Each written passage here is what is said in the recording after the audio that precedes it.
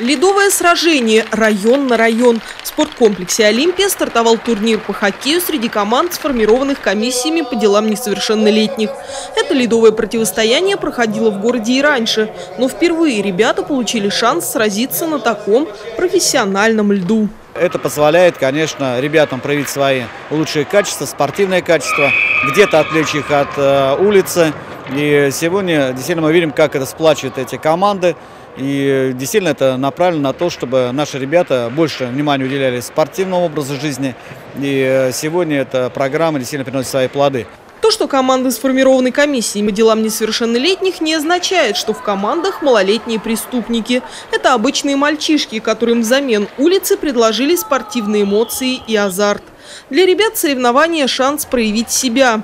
А что, как не спорт настоящих мужчин, может лучше этому способствовать? Хоккей, мне кажется, это спорт для сильных, а те, кто не, ну, терпит боль и унижение в некоторых моментах.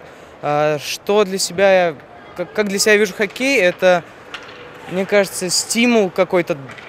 Он мне дает стимул, чтобы э, хорошо учиться, это зависит от мамы. То есть бывает не пускает на тренировки. Да и просто очень интересно с друзьями даже покататься. Здорово, мне нравится. Хоккейный поединок – лишь первый этап большой спартакиады. В течение года ребятам предстоят еще турниры по мини-футболу, стритболу и силовому многоборью. Но главное – это спортивный дух и амбиции, которые должны победить пагубное влияние улицы. Наталья Романова, Андрей Семиволков, РТВ Иванова.